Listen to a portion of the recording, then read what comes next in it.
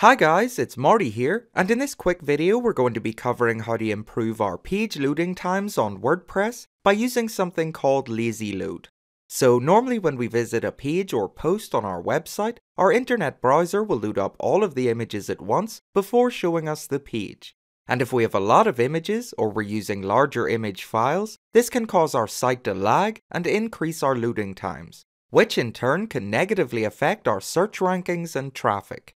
But to fix this, we're going to get our images to lazy load, which means instead of the images all loading up at once, only images that will be visible right away will load first, then the other images will load up as we scroll further down the page.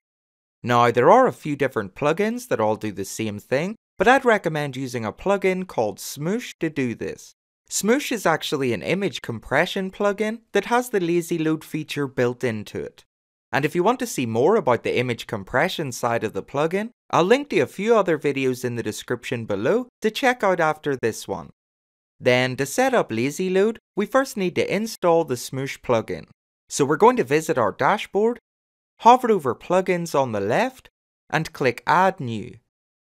Then we need to type the word Smush into the search bar in the top right, and install and activate this plugin by WPMU DEV. Then once the plugin's active on our site, we can hover over where it now says Smush on the left and click Lazy Load. Then we need to click Activate in the middle and all of our images will now be lazy. Now we do have a few options here we can change as well if we like and I'll quickly run through what these are. So first we have media types and here we can choose which media types we want to lazy load. They're all checked by default, and I'm just going to leave it as it is. But if there's anything you don't want to lazy load, just uncheck the box beside it.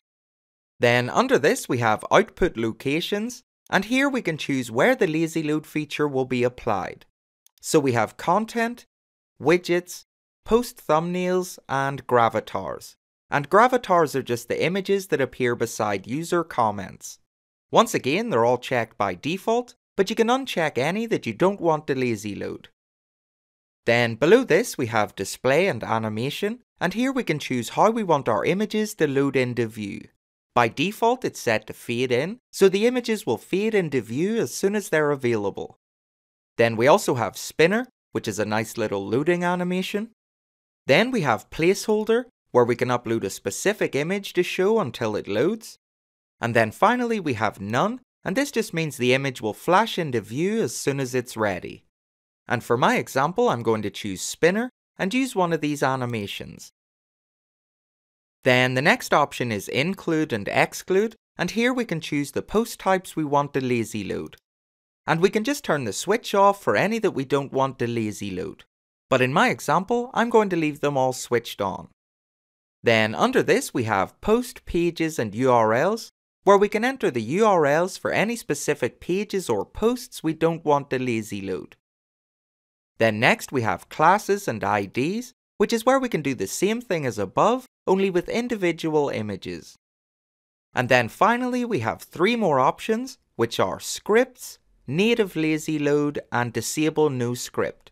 But to be honest, I'd recommend leaving these alone unless you know exactly what you're doing. Then once we're finished with these options, we just need to click Save in the bottom right, and all of our images will now be lazy.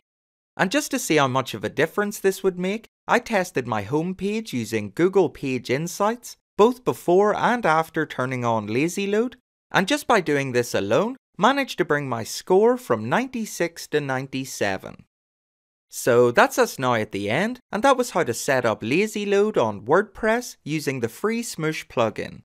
I really hope you found this video helpful, and if you did, please give it a like to show your support, and consider subscribing to the channel for more WordPress tutorials in future.